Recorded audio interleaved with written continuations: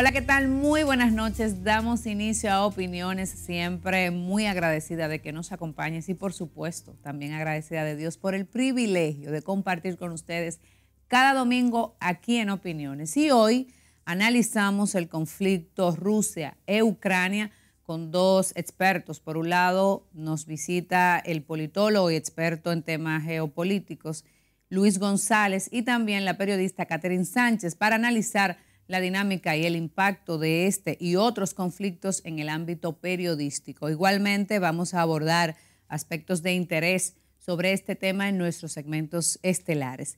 Quiero aprovechar la oportunidad para invitarte a seguir nuestras redes sociales, como puedes ver en pantalla, arroba Lenis Opiniones, arroba Lenis García G y nuestro canal de YouTube, Lenis Opiniones. Sin más preámbulos, iniciamos de inmediato esta entrega. Acompáñanos.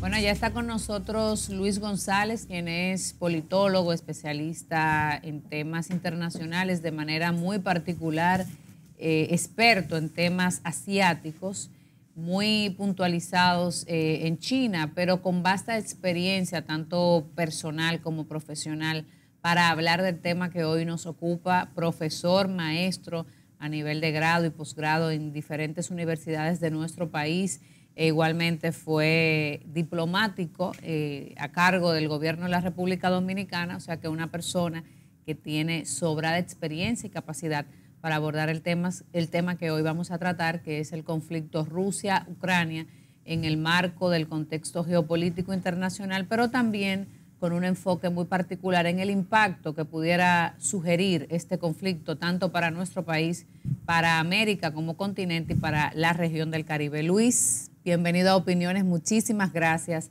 por la receptividad de aceptar nuestra invitación. Así que aquí estamos a su orden y muy complacidos de recibirte. Gracias, Lenny García, por el honor de invitarme aquí a Opiniones, a precisamente emitir mi punto de vista sobre un tema de vital importancia para el planeta. Importancia porque lo que está sucediendo en la Europa del Este influye en todo el mundo, incluyendo en la República Dominicana. Definitivamente. Y de ahí parte de nuestra preocupación, ¿no? Porque vivimos en un mundo ya globalizado, donde lo que sucede en un punto del planeta tiene repercusión a nivel global. Entonces, lo primero que queremos abordar es el origen de este conflicto, que tú nos pongas en perspectiva. ¿Dónde está la génesis de esta situación? Que sabemos por lo que he podido investigar, y es un tema al que particularmente yo le había dado seguimiento, porque es un conflicto que viene de muchos años, alrededor de 8 o 10 años, comienza ya eh, a dar vicios de una eventual situación eh, bélica como la que está pasando ahora. Entonces, tú que eres el experto en este tema, explícale a nuestra audiencia el génesis de este conflicto. Bien, eh, tú mencionaste cuando iniciaste la introducción algo clave, que es la, geopolítica. Creo que una razón de este tema es que hay una lucha geopolítica por zonas estratégicas, en este caso Crimea. Y por otro lado, estamos ante eh, dos pueblos hermanos. Estamos hablando de Ucrania y de Rusia.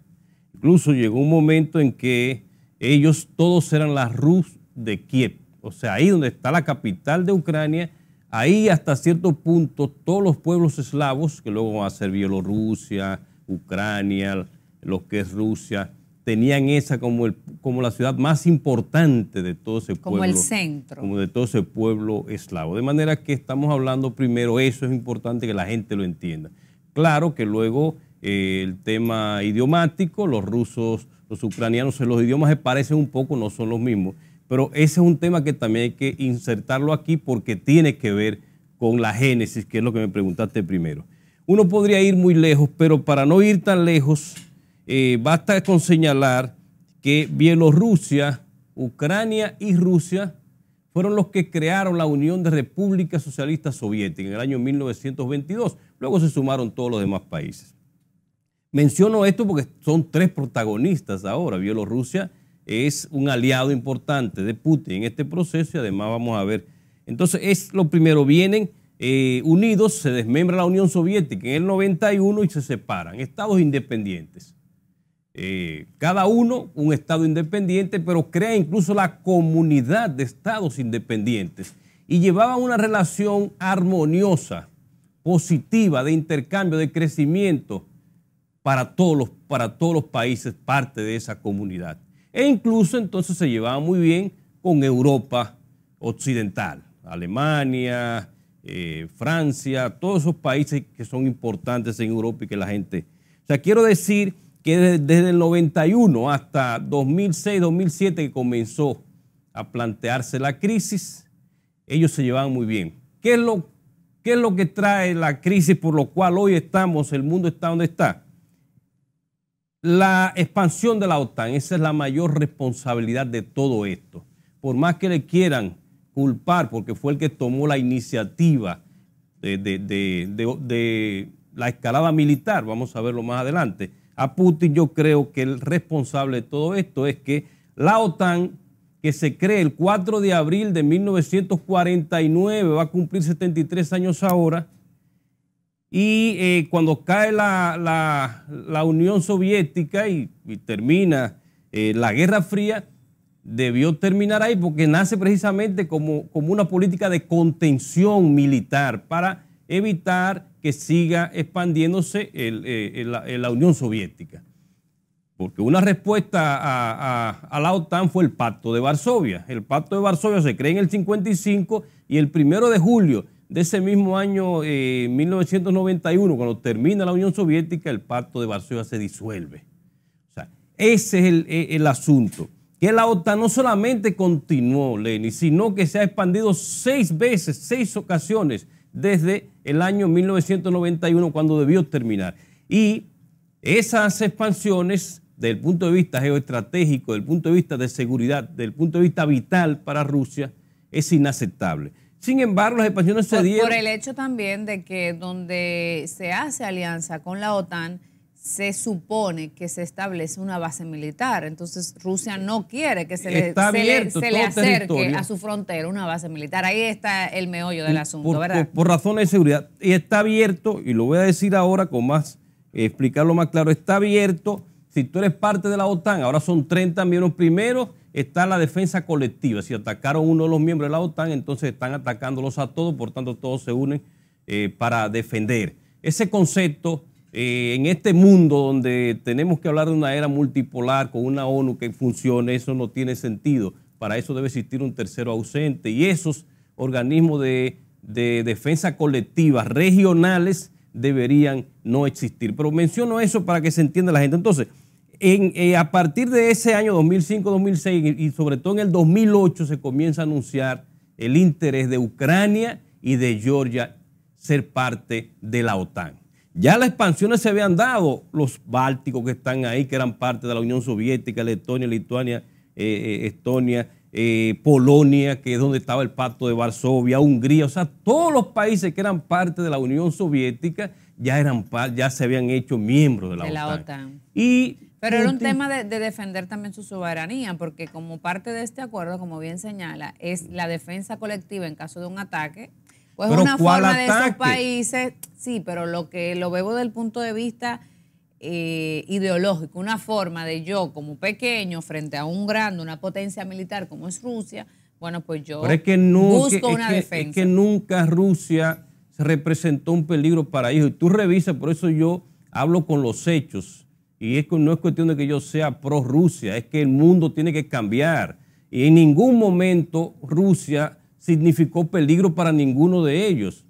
Entonces, y ya que se quedó siendo OTAN, debió cumplir incluso, que es lo que Putin señala, eh, con la promesa de que no se iban a seguir expandiendo hacia el este. Analistas importantes como Henry Kissinger, que todo el que estudió diplomacia sabe lo que, eh, que, el, libro diplomacia de Henry Kissinger señala lo que lo que es eh, la expansión, lo que es el nuevo orden, ha señalado que, eso no es, la mejor manera. Un profesor de la escuela de Chicago, de, una escuela, no de la escuela de, económica de Chicago, sino una escuela de la Universidad de Chicago, le señaló también que extenderse hacia el este y sobre todo en Ucrania, eso era inaceptable, esa no era la mejor manera de Estados Unidos manejar el tema. Pero quiero, para que la gente entienda, entonces en el año 2012, para no ir muy lejos, eh, el presidente Víctor Yanukovych comienza a hacer eh, el interés de que Ucrania sea parte de la, de la Unión Europea y también... ¿Por qué quiere Kiev ser parte de la OTAN si Rusia no, no representaba un problema o un peligro para ellos? Bueno, porque ahí para ahí, eso es lo que yo señalo, eh, los responsables son precisamente la OTAN y Occidente y ahora yo voy a decir por qué en este momento, porque tú lo dijiste, eso tiene ocho años. Eso es una manera de provocar a un a un país que estaba creciendo y estaba siendo un aliado importante para Europa, eh, desde el punto de vista económico, desde el punto de vista, o sea, es vital el gas de Rusia para... Pero desde que comenzó eh, esa relación a fortalecerse, los presidentes de Estados Unidos, sobre todo desde, desde Donald Trump para acá, señalaban que el, Nord Stream 2, que es el, el, gaseoducto, el segundo que se está, no, no, era, no era bueno que continuara porque eh, Europa no podía seguir siendo eh, muy dependiente de, Rusia, pero sin señalar nada, no es porque Rusia había sido una... Entonces, pero lo que quiero decir que en el año 2014, que tú lo señalaste esa fecha, es cuando comienza todo. Esta crisis comienza en el año 2014, exactamente 100 años después de que se inicie la Primera Guerra Mundial. Parece una coincidencia, pero esta guerra que podría traer consecuencias. No creo que vaya a ser tercera guerra mundial, pero sí, y es una guerra que, ha, que, que, está influyendo en el mundo entero. Lo que no es una guerra. ya se le puede llamar guerra como tal. Es una guerra porque tiene un conflicto entre dos estados soberanos y ahí y, se está utilizando la, eh, la, la, belicidad, hay ataques, o sea, sí, claro. intervención militar. Es una guerra, pero además es una guerra en todos los sentidos, porque está la guerra también económica. Eso es una guerra, las sanciones parte de la guerra. Tú recuerdas que se hablaba de la guerra económica entre China y, Estados Unidos y comercial, porque eso, el, enfrentar a, un Estado de manera directa con sanciones, aunque no haya eh, armas de por medio, también entra en la definición. Pero esta, eh, en esta, esta guerra tiene todos los elementos. Entonces, en el 2014, para que la gente entienda, el 22 de febrero, hacen renunciar al presidente Víctor Yanukovych. De acuerdo al mismo presidente Yanukovych y a, la Federación de Rusia o a Rusia y Putin. Que se, dice que fue básicamente un golpe de Estado, un golpe de blando de tiempos modernos. Es un golpe, y, ahí, se origina el conflicto. Golpe de Estado porque él era el presidente electo de manera constitucional. Y la gente lo quería. Y votó una gran mayoría por él, lo hacen salir y a todos los que de una u otra manera están vinculados a él. Ante ese vacío de poder en la parte este, y esto es bueno que ustedes que lo están siguiendo lo entiendan, la parte este de Ucrania, Ucrania es un país de 603 mil kilómetros cuadrados, el segundo en territorio de toda Europa, eh, precisamente después de la Federación de Rusia, que tiene una parte europea importante.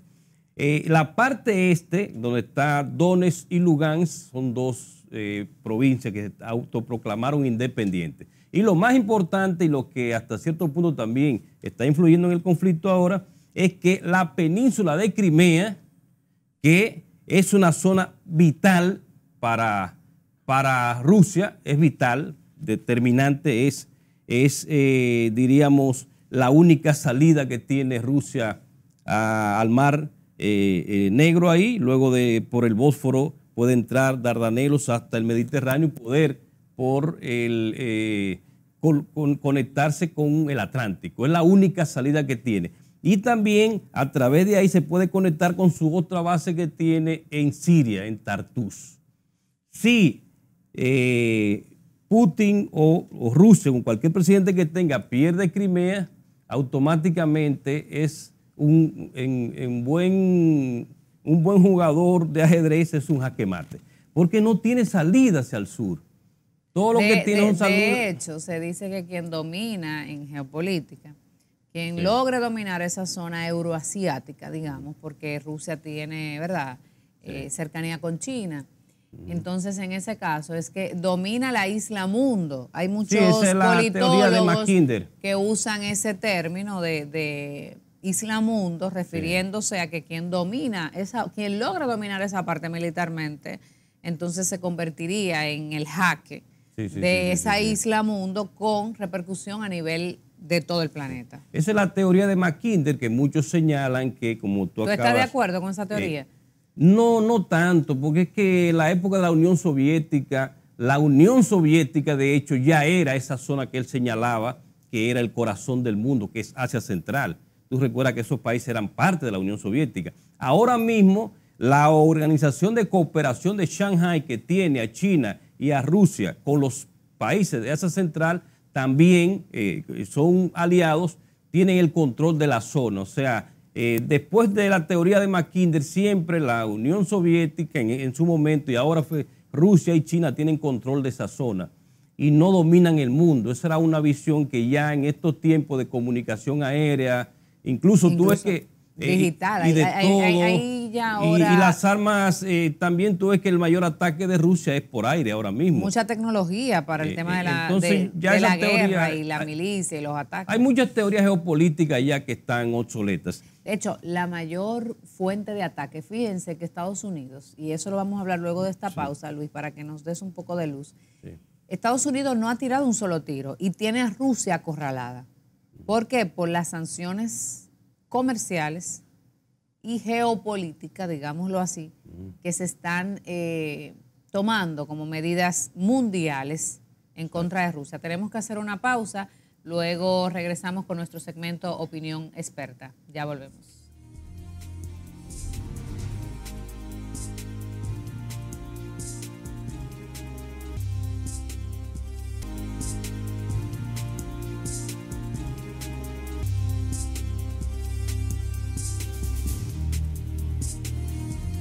Continuamos con más en opiniones y ahora vamos a presentar a Catherine Sánchez, quien es nuestra invitada en nuestro segmento Opinión Experta. Vamos a abordar este tema del conflicto bélico entre Rusia e Ucrania desde el ámbito del periodismo, cómo impacta eh, de una u otra forma no solo la vida del periodista, sino también a la dinámica del medio de comunicación al que pertenecen. Y damos la bienvenida a Catherine Sánchez, periodista con eh, expertise en estos temas. Catherine, buenas noches, bienvenida a Opiniones. Cuéntanos. Muchas gracias por recibirme en este espacio, un panel bastante nutrido e interesante. Gracias también, Lenis, por tomar la iniciativa de poder contarles a toda tu audiencia lo que sucede en ese momento donde nosotros los periodistas pues tenemos que brindar la información noticiosa de ese acontecimiento que está sucediendo y más aún en este tipo de conflictos bélicos que hay una situación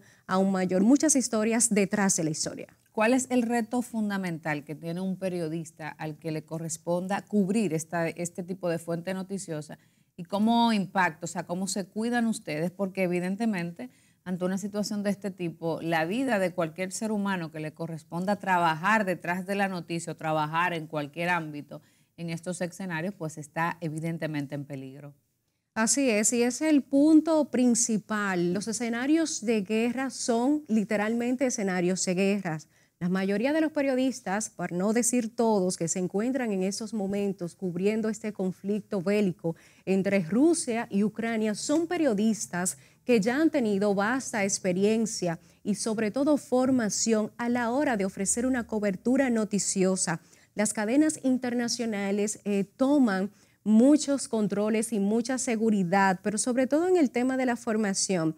Te puedo decir que hay cadenas internacionales que le dan una formación y preparación a sus periodistas a la hora de llegar a un escenario de guerra, incluso una preparación para que usted no se coloque en el espacio, en la línea de fuego, eh, tácticas, estrategias que se deben de tomar en cuenta. Ahora bien, estamos hablando de una guerra, de un conflicto bélico que no sabemos qué puede suceder, pero como periodista tengo la misión también, porque llevo una misión a cargo, este, de informar y de hacer una recopilación de los acontecimientos en el momento, pero sin sin olvidarme de esa actualización, de esa contextualización de la información de lo que tiene el nudo de este conflicto, que es muy importante, pero sin lugar a dudas, salvaguardar la vida y dar la información, ahí hay como una línea que el periodista debe de manejar.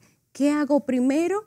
Es tal vez el primer pensamiento que puede tener un periodista. Y así nosotros le hemos venido dando seguimiento a los relatos de esos colegas eh, a quienes eh, admiro y creo que es una labor eh, muy valiosa que, están haciendo y que realizan a nivel global todos los periodistas que ejercen el reporterismo, una de las facetas más importantes del periodismo. Y hay cientos de relatos, te puedo compartir uno muy brevemente, de un periodista que en el primer día de bombardeo, pues se encontraba en su hotel y relataba que sintió que le tocaron la puerta rápidamente y le decían salga que hay una bomba. Él al momento de salir a la recepción del hotel vio como una especie de pesadilla, totalmente un escenario abrumador y dijo en su relato, no sé qué hacer. Salgo y grabo un video o lo escribo en Twitter, lo que acaba de suceder, el primer bombardeo, o me voy a un sótano. Él mismo relata que por una milésima de segundo, vamos a decir cinco milésimas de segundo, pensó qué hacer primero. Dentro de, lo que has investigado en este escenario, Rusia, Ucrania, ¿tienes la información de cuánto periodista o si ha fallecido, si ha sido, si se encuentra herido, qué cantidad de víctimas periodistas eh, se pueden reportar en este conflicto en particular? Sí, fíjate, mira, el Comité de Protección a los Periodistas, que es una organización sin fines de lucro que tiene sede en Estados Unidos, en Nueva York, ya tiene una cifra de seis periodistas muertos y más de 30 heridos.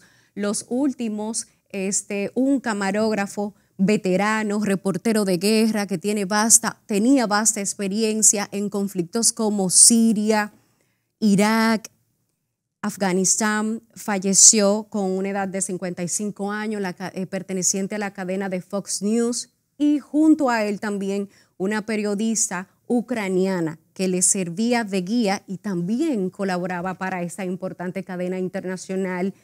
Y ciertamente estas cifras eh, son estremecedoras porque son personas que están en su labor. No, y tomando en cuenta que es un conflicto que apenas tiene semanas, no tiene ni siquiera un mes, y ya tener una cifra de seis personas fallecidas, aún, aún sea una persona, eh, es alarmante, pero seis en tres semanas estamos sacando, si sacamos estadística, estamos hablando de si tiene tres semanas, dos personas por semana, o sea que... Periodistas, eh, porque personas han muerto. No, claro, pero dentro de este ámbito. Y, y, queremos también... Eh, hacer partícipe de este segmento a nuestro invitado estelar, que es el señor Luis González, eh, sobre alguna inquietud que pudiera tener sobre el impacto del conflicto en el periodismo.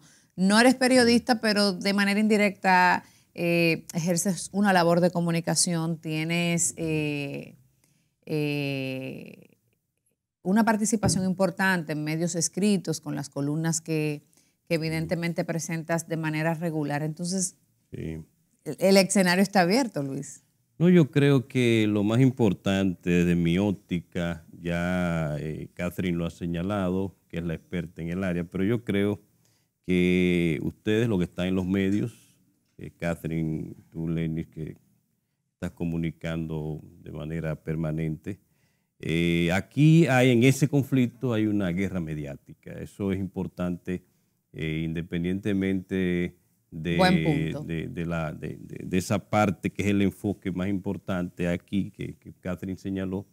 Yo creo que también ustedes como periodistas deben ver esto porque ese periodista también responde a un, a un, a una nota, a una, a una editorial, a un país, a un grupo económico que está detrás de su medio o a un Estado, cualquiera que sea, que influyen. Siempre ha habido, siempre hay los medios totalmente independientes, los hay, pero son muy pocos. La mayoría tienen sus posiciones.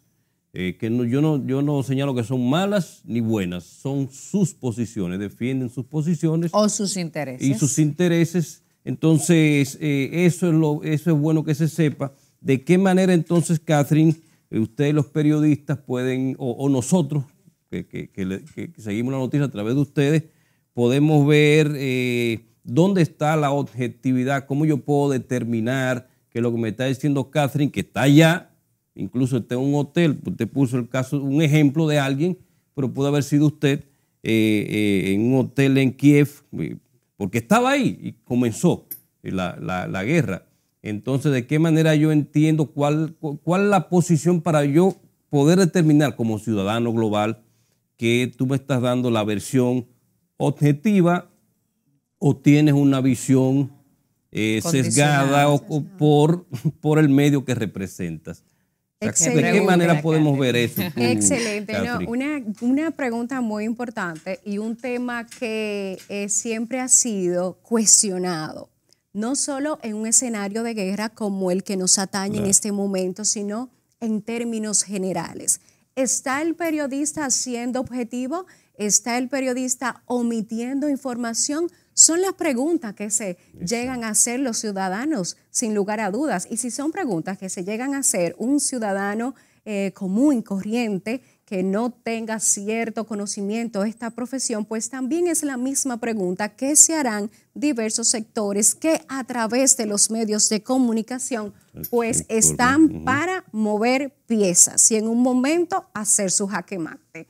En los escenarios cualesquiera, eh, la primera indicación, el primer indicativo que puede tener un ciudadano común, ¿no? O puede tener usted o puede tener Lenis, para poder percibir, vamos a utilizar este término, para poder percibir, tener ese control de si será cierto lo que el periodista está señalando, es la verificación de datos. Si bien es cierto que el ciudadano no está para verificar el dato, porque el dato está para dárselo, el periodista, cuando hay un escenario con un contexto como este, que sabemos todas las piezas que hay y lo que está sucediendo, los intereses políticos, que no me voy a adentrar en esa parte. Y económicos. Pero son intereses políticos y económicos muy fuertes, pues ese ciudadano que está viendo esas informaciones, si el escenario de guerra es que están bombardeando y están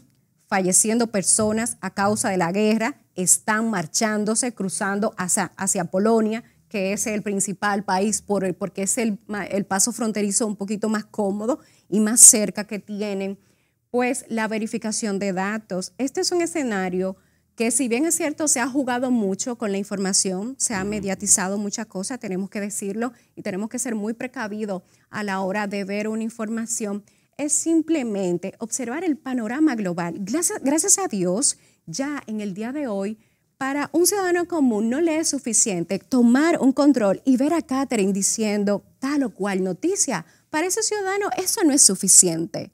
Ese ciudadano va a entrar a una de las redes sociales de la Casa Blanca, por ejemplo, y va a verificar si Catherine dice que en la Casa Blanca el presidente Joe Biden va a participar de una reunión extraordinaria de la OTAN en Europa que se va a celebrar en su sede.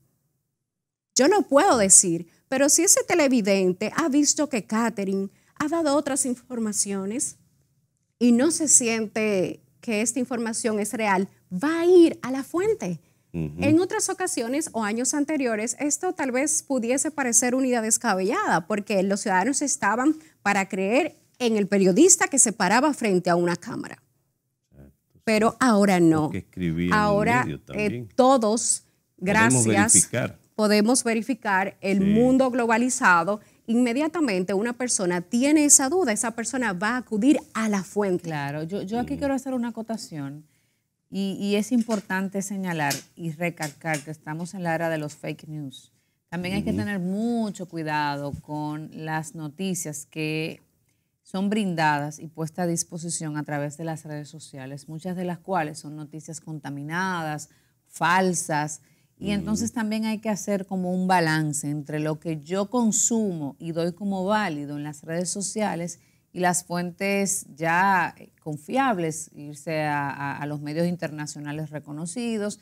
¿Y qué yo hago para mantener un balance? Yo veo, leo prensa de un lado, digamos de Occidente, Estados Unidos, comparo con eh, fuentes oficiales de Europa, Y también, eh, de una u otra forma, trato de ver lo que ponen en relieve los medios rusos e ucranianos. O sea, usted no habla ruso, pero usted tiene Google. Medios que han sido censurados. Y usted puede, usted puede traducirlo también. O sea que el mensaje de Catherine es muy claro. Haga su esfuerzo. Haga su debida diligencia, como decimos los abogados. Catherine, eh, hablamos de la objetividad, hablamos de esa orientación de buscar eh, ir un poquito más allá. Entonces, eh, ya una pregunta para eh, cerrar esta, esta parte. ¿Cómo desde la experiencia, porque hablamos de un conflicto en Rusia, pero se han dado conflictos a niveles locales, por ejemplo, cuando estuvo la situación frente al Congreso, que hubo, por ejemplo, cuando se dio el tema de las manifestaciones frente a la Plaza de la Bandera, pues son escenarios donde igualmente un periodista está en riesgo. ¿Te ha tocado asumir uno de estos escenarios? ¿Cómo, cómo tú has podido manejar este tipo de situaciones? Mira, Lenis, qué bueno que haces la pregunta porque ciertamente eh, estábamos tratando Rusia y Ucrania como conflicto bélico, pero el periodista día a día está en un conflicto no bélico porque tiene una misión de informar. Y has mencionado escenarios que, eh, fíjate, he estado en, el Congreso Nacional, en las marchas que se hicieron también en pasadas gestiones hacia el Palacio Nacional, donde el periodista se encuentra en un escenario de bombas lacrimógenas, de tensión, de peleas, de conflictos, que de repente, de disparos que tú debes de dar la información, transmitir lo que está sucediendo, pero de repente, y te hago la anécdota rápida, a mí me sucedió en una ocasión que estaba transmitiendo en vivo un conflicto en una casa política de un partido político. No me diga que la de los sillazos. No, ah. no, la de los sillazos no me tocó. Es que eso es inolvidable. Eso es inolvidable. Eh, no ejercía en ese momento, eh, pero lo busqué porque vaya, vaya. Eso fue algo ese, ese escenario le tocó a un gran compañero, un gran periodista y colega. Pero te cuento que a mí me tocó transmitir el escenario de conflicto y en un momento a un señor que estaba a mi derecha le dispararon y el señor cayó a mis pies. La, la sangre me salpicó a mis pies. La toma es una toma que la tengo por siempre impregnada en mi memoria periodística. Por supuesto. Hacía una transmisión, hice una pausa de unos 10 segundos y yo seguí transmitiendo. ¿Con el herido o el fallecido? Con, con, el herido en mis Hay pies. Hay que tener la sangre fría, ¿eh? Me cuentan mis compañeros que en la sala de redacción, donde todos estaban viendo la transmisión, eh, dijeron, se va, se va a ir, va a salir corriendo porque la toma quedó con eh, el frente del caballero, el torso, cabeza y se veían mis pies. Son escenarios donde el periodista está llamado a salvaguardar su integridad física, pero el periodista tiene una misión muy clara y podrá sonar para muchos cliché, para otros podría sonar hasta frío pero el periodista tiene una misión, que es informar. Y creo que es, es una, un don con el que se nace, indistintamente de que tú tienes que tomar las medidas para que si estás en una manifestación donde ya hay un tiroteo, se ha escenificado bombas lacrimógenas y demás, tú tienes que tratar de hacer una mirada, un giro 360 y ver dónde están los policías ubicados, dónde están los manifestantes, de dónde vienen los disparos. Y dónde ubicarte, pero no puedes dejar nunca el espacio. No. Entonces tienes que verificar dónde me voy a ubicar, dónde se va a ubicar mi camarógrafo. La cámara tiene un zoom, que eso nos ayuda mucho para proteger la vida, pero hay que ubicar, aun cuando pareciera un poquito exagerado o te pueden decir, ¿y cómo vas a ser capaz de concentrarte en esos detalles y dar la información? Pues sí, fíjese que el periodista debe estar preparado para eso. Y, supongo que, ¿verdad? Eh, reciben ese tipo de, formación eh, a nivel académico. Catherine, muchísimas gracias por compartir con nosotros esta experiencia. Estaremos abordando otros aspectos relevantes y profundizando sobre este tema en la medida que eh, avance este conflicto, que esperamos avance hacia la paz. Señores, seguimos con más de opiniones, regresamos en breve. Hoy en los 5 o más hacemos un recuento del impacto negativo como consecuencia del conflicto entre Rusia y Ucrania. Número 5. Incremento de los combustibles. Los precios del petróleo subieron en las últimas semanas a niveles no vistos desde 2014 debido a este conflicto. Rusia es una superpotencia energética, produciendo 9,7 millones de barriles al día, según estadísticas del 2021. Esta cifra es la segunda después de Estados Unidos y supone más petróleo que el que producen Irak y Canadá juntos. Con la escalada militar, el equilibrio de la producción ha sido afectado. Número 4. Inflación histórica. Este quizás sea el mayor problema al que se enfrenta la economía global. Desde antes de desatarse el conflicto entre Rusia y Ucrania, expertos a nivel internacional alertan de que esa crisis podría agravarse aún más incluso si el petróleo subiera a 110 dólares el barril. En una escalada de tensión, la tasa de inflación interanual superaría el 10%. La inflación de Estados Unidos no llega a ese nivel desde 1981. Número 3. Turbulencias en los mercados. Los inversores se mantienen en incertidumbre. Una caída prolongada del mercado acabaría con el patrimonio acumulado por familias en la bolsa y en las cuentas de jubilación la inestabilidad del mercado también podría mermar la confianza de los consumidores y las empresas. Número 2. Crisis humanitaria. Las consecuencias a largo plazo son económicas y por supuesto en pérdidas humanas, lo que ha desatado una de las peores crisis humanitarias de este siglo, forzando el desplazamiento de millones de personas, especialmente a países como Moldavia, Rumanía, Finlandia y otros territorios limítrofes de Ucrania. Y finalmente, en la posición número uno, reestructura de un nuevo sistema internacional. Este conflicto hace notar la necesidad de una reestructura del sistema internacional de contrapeso donde haya una votación mucho más democrática que la que hoy se tiene en el Consejo de Seguridad de la ONU, donde solo 5 de los 15 miembros son permanentes y los otros 10 cambian cada dos años por una votación de la Asamblea General, causando limitaciones por el veto de uno de esos integrantes fijos. En los 5 o más hemos presentado un recuento del impacto negativo como consecuencia del conflicto entre Rusia y Ucrania.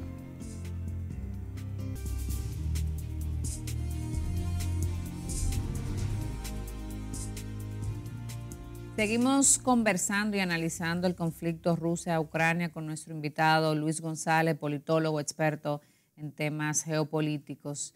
Veíamos en Opinión Experta, nuestro segmento especial, una panorámica desde el ámbito periodístico. Y vamos a volver aquí a hablar del escenario en sentido llano. Eh, veíamos en los cinco más el impacto económico de esta guerra. ¿Quién es el beneficiado y quién entiendes desde la óptica eh, o tu posición, ¿verdad? Experta, que ha sido o es el beneficiario y el responsable de este conflicto? Bueno, la parte económica es fundamental en este conflicto porque terminamos en segmento anterior eh, señalando que ya Estados Unidos le decía a Alemania no dependa tanto del gas de Rusia, aunque es el gas que le llega por gasoducto a, menor precio, más seguro, pero entonces Estados Unidos quería vender el de él de este lado del Atlántico mucho más caro y con posibilidad de dañar el medio ambiente, porque cuando un buque cruza por el Atlántico, pues afecta al medio ambiente. O sea, no le interesa eh, nada de eso, lo que le interesa es poder vender. Y, dicho sea de paso, y ahí te respondo la pregunta, el único que ha salido beneficiado en todo este proceso, el único, ha sido Estados Unidos. Eh, porque si tú revisas los números, si usted que me está mirando, revíselo, como verificamos en el, como dijo Catherine en el segmento anterior, usted puede verificar. De cada 10 dólares o 100 dólares para poner que se venden en el planeta de armas, 60 las vende Estados Unidos. De los 10 fabricantes de armas del mundo, 6 son estadounidenses. Eso es por el lado de las armas, que se están vendiendo hace mucho tiempo, porque tiene 8 años el conflicto. Pasa que no, no, no nos dio mucho tiempo el programa, pero Eh, tú lo señalaste en principio y tu auditorio te... y seguiremos abordando este tema, Luis. Eh, de te seguro que te entendió, pero- llamaremos más adelante. Pero en esos ocho años, desde el 2014 hasta ahora, 22, que estaba había una guerra fratricida entre Donetsk y Lugansk, que se habían autoproclamado independientes, pero que en ese mismo año 14, Lenis, hubo acuerdos de paz, los acuerdos de Minsk, que no se cumplieron porque los asesores de Ucrania le dijeron no cumplan eso, vamos a seguir insistiendo para provocar lo que está sucediendo, por lo cual usted y yo estamos aquí en el planeta, incluso en la República Dominicana, en esta zona, sufriendo las consecuencias. Pero los mayores... ¿Cómo, ¿Cómo la sufrimos nosotros? Para que la gente tenga una perspectiva clara. Sí, la República Dominicana, por un lado, turismo. El turismo de Rusia y de Ucrania, el, el que más aporte ha hecho en crecimiento en los últimos 8 o 10 años, y, y ni hablar del año pasado, incluso el ministro de Turismo, eh, David Collado, señaló como un año sin parangón en el crecimiento del turismo. Los rusos y los ucranianos tuvieron mucho que ver con eso, Bueno, por un lado. fue un, un avión repleto de rusos y de ucranianos. Y además un turismo, Lenny, que gasta, se está hablando de 400 millones de dólares en consumo de ese turismo, ya por ahí. Y hay un intercambio comercial, no es muy fuerte, pero hay un intercambio comercial, porque eh, Ucrania sobre todo le llaman el granero de Europa. Eh, son los mayores productores de girasol, entre De otras maíz, cosas. etcétera. Y hay eh, también un intercambio, un intercambio en otros También en rubros el tema de hierro, creo que es uno de los Pero mayores además, importadores a nivel mundial. Eso lo- es- exacto. Sí, esa zona de Donetsk y Lugansk son los mayores productores de hierro casi del mundo. Eso le aporta el 40% a la economía de Ucrania. Y, también nos afecta de manera indirecta. ¿Por qué indirecta? Porque al aumentarse los commodities internacionales, al aumentarse el precio de- del crudo, entonces afecta a los y las dominicanos. Entonces por ese lado estamos. Pero ¿cuáles son los perdedores? Eh, Rusia y Ucrania, sobre todo Ucrania, que es el campo de batalla. Cuando un campo de batalla, entonces pierde porque se Claro. au- se, destruye y todas las No, cosas. y las Y vidas, las las, vidas- propiedades que se han destruido. y la persona, el ser humano, como un ser humano que tenía toda su vida, es como que tú, tu casa, tus padres que tengan, y de repente tengan que salir sin saber dónde van. Y por eso se ha aumentado en más de 80 millones en los últimos años el tema de los refugiados, porque hay otros, hay otros conflictos ¿Tien- también. ¿Tiene la inflación que está viviendo la República Dominicana una relación directa con este conflicto? La, en, los últimos, en los últimos meses ha influido, pero la inflación viene, todo el mundo lo sabe, por la crisis del COVID-19, pero la República Dominicana por lo menos tuvo una ventaja de que creció un 13, 12.5, 13%. Esos son números que están ahí y se ve, de, usted lo puede buscar en los números del Banco Central, eh, se ven cuáles sectores y eso ha impedido que la inflación sea mayor.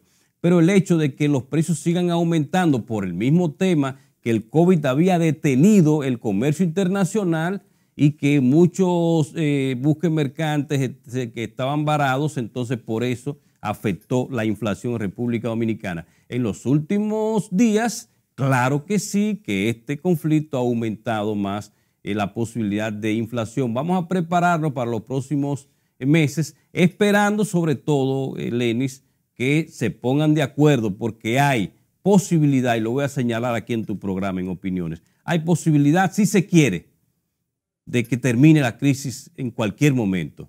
¿Por qué? Porque eh, China, que es uno de los países más importantes del mundo de hoy, es la primera economía en PITA PPA, la segunda en PIB nominal, pero la, la economía más fuerte desde el punto de vista real, con una influencia importante, ha estado planteando la construcción de un destino compartido, su líder Xi Jinping.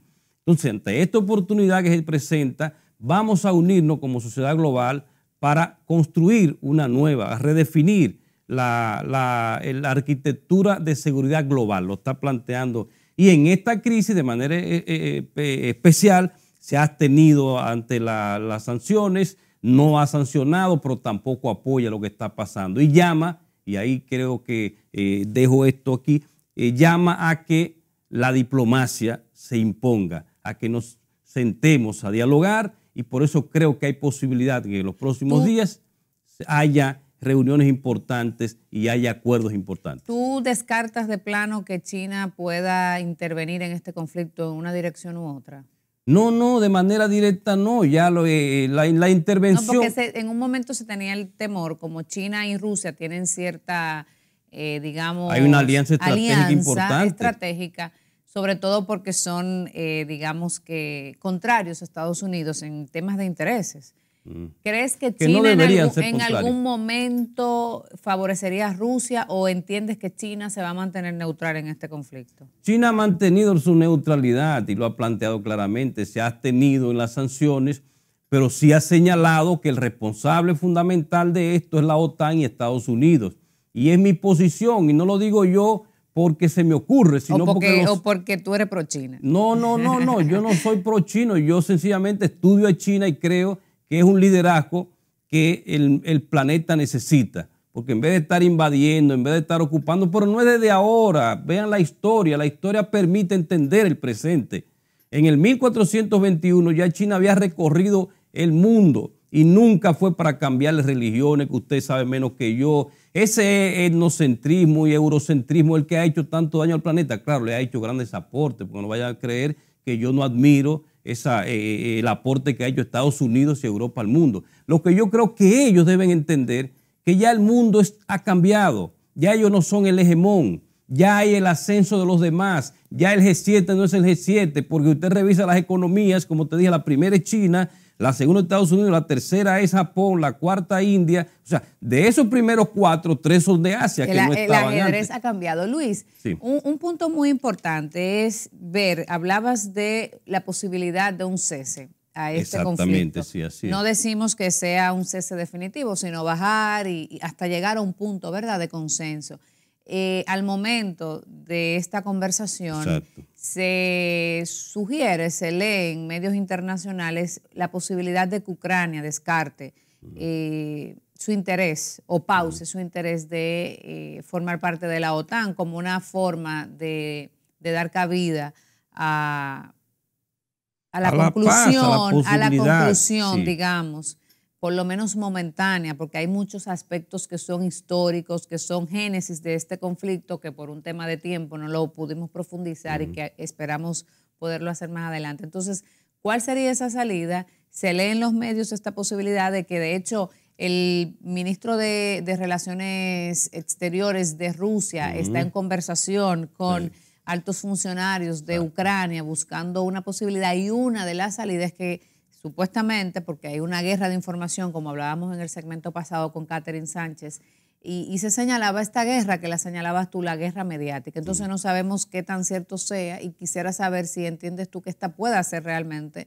una salida y qué tantas posibilidades hay de, que esto sea así. Te digo que hay posibilidades porque es lo que quiere Rusia. Rusia no le conviene ni siquiera, ni siquiera por la sanción, no le conviene porque detiene su crecimiento su ascenso en muchos sentidos que estaba teniendo. No le conviene Europa porque todos esos países dependen del gas de Rusia. Los nórdicos dependen 100%, los bálticos dependen 100%, eh, Alemania depende un 43% y hasta Italia depende un 20 y algo por ciento y creo que hasta eh, España, que es uno de los que menos depende, tiene un 10% de dependencia de ese gas ruso. Entonces eh, es, un, es, un, elemento vital. Pero yo creo que hay posibilidades porque es lo más sensato, es lo que puede encaminar al mundo, que viene saliendo de una crisis global del COVID. que no le importó a estos grandes líderes, hay eh, que estar claro. Es lo que le digo, o sea, no les importó que estamos saliendo y que la economía está resentida. Pero lo que sucede es que eh, ese es el interés de algunos y se ha demostrado que es así. Pero esos que, tienen, que han tenido ese interés son los mayores responsables y deben sentarse y creo que lo van a hacer en los próximos días eh, para que el planeta salga de esta, de esta, de esta crisis con una solución de, dialogada donde la diplomacia se imponga. ¿Cómo se soluciona? Y lo, sintetizo en 40 segundos. Eh, eh, en la solicitud de Putin y Rusia es una sola, sobre todo. Garantízame que no va a seguir expandiéndote, que no va a seguir siendo una amenaza para nosotros. Que Ucrania sea un país neutro, que no sea parte de la OTAN. Y lo mismo con Georgia. Es la única. Hay otras cosas como tú dijiste, pero eso es, con garantizarle eso a, Rusia, se puede plantear a partir de ahí retomar los acuerdos de Minsk, Donetsk y Lugansk van a dejar su interés de ser independientes y van a ser parte de Ucrania como unas autonomías, se va a reformar la constitución de Ucrania, donde van a sacar eh, eh, la, moción de que ellos iban a ser parte de la OTAN, por un lado, y además que se iban a constituir un Estado con dos autonomías nuevas que se estaban integrando. Esa es la solución donde todos van a ganar y todos vamos a ganar en el planeta. Pero si se tiene interés de, la paz. ¿Qué eh, pasaría en el caso de que, en definitiva, no se opte por esta salida de, de la OTAN, que Estados Unidos continúe presionando esta posición? Bueno, eh, y hasta cierto punto yo te digo porque aspiro a que se imponga la sensatez. Pero recientemente, hace unas horas, eh, Estados Unidos, de manera irresponsable, lo digo aquí eh, con mucha responsabilidad yo, está señalando que China ya tiene interés de apoyar a, a Rusia de manera militar. Eso para mí fue un extremismo. Y ese tipo de información no aporta nada. China decía, te decía. Fue una información de fuente oficial de, la Casa Blanca. De fuente oficial, no, sencillamente ellos dijeron, nosotros sospechamos que China podría, o sea, eh, hasta el lenguaje que se utiliza es irresponsable. En ningún momento China ha enviado ningún mensaje. Lo que ha hecho es precisamente ser ese ente de equilibrio, de llamar a la paz, de llamar al diálogo, de que Rusia termine su escalada militar y que se siente en la mesa de negociaciones que más que una escalada es una intervención. Bueno, una, intervención abusiva. Bueno, no, no, no. En el concepto del derecho internacional de intervención tiene otro objetivo y ese no es el objetivo de él. Ocupar el país, quedarse en el país y hacerlo parte de él. Ese no fue el objetivo que se anunció el 24 de febrero. Incluso se esgrime el artículo 51 de la Carta de la ONU y es en defensa de dos, de dos zonas que se han proclamado independientes y que dos días antes él la había reconocido. La, única solución entonces eh, está condicionada a, digamos que a que Ucrania está sobre la responsabilidad de Ucrania y Estados Unidos. No hay posibilidad de que Rusia ante eh, el agobio y digamos que todo lo que conlleva y supone las restricciones comerciales que ha recibido del mundo, no solo de Estados Unidos, eh, Rusia pueda también eh, hacer un paro y decir, bueno, voy a respetar esto, pero póngame estos límites? Es que no, si, sin garantizar lo que, por lo cual tomó una decisión eh, que no era la que quería nadie, porque nadie quiere eso realmente, por lo menos pensando sensatamente. Rusia, hasta que no le garantice eso, porque sería peor. tú tienes tres semanas ahí, ha muerto mucha gente, tu economía está siendo resentida. Eso no va a suceder. Lo que va a suceder es que se sienten y negocien los puntos por los cuales se toma la iniciativa el 24 de febrero de la escalada militar, de desmilitarizar. Era que estaba militarizado sin ser parte de la, de, la OTAN. Es que hay que decirlo también. O sea, ya Ucrania está allí, por eso es que ha podido tener la capacidad de resentir tres semanas a uno de los de los ejércitos más poderosos del planeta, que el, que el ruso, es porque estaba lleno de armas. El interés era, y, ahí voy a decir con lo que tú comenzaste el programa, era totalmente geopolítico y estratégico. Era ocupar Ucrania, o sea, la OTAN, no, no tomarla, sino hacerlo parte de ellos, y entonces insertarse ahí en, en, la frontera de Rusia y quitarle a Crimea. E, ese iba a ser el próximo paso. Tú sabes muy bien que Crimea es determinante, es vital para la existencia de Rusia. Y cuando eran aliados con Ucrania, que es lo que yo plantearía como una salida, cuando eran aliados ellos tenían, tenían su base de Sebastopol ahí y le pagaba una anualidad por ocupar Sebastopol, pero era un pueblo amigo. Si la OTAN que ocupa eh, a Ucrania lo hace parte de la Ucrania, le podrían quitar en los próximos días también a Rusia la base en Sebastopol. Y eso no va a suceder. Eso no lo va a aceptar Rusia. Bueno, así concluye nuestro invitado de hoy, Luis González, politólogo, experto en temas geopolíticos, un gran conocedor de los temas asiáticos. Muchísimas gracias, Luis, por compartir tus opiniones con nuestra audiencia y por supuesto queda abierta la invitación a continuar dialogando, analizando y profundizando sobre un tema de tanto impacto a nivel, a nivel global. A ustedes las gracias por acompañarnos cada domingo. Nos veremos la semana próxima. Recuerden que aquí la opinión es de todos.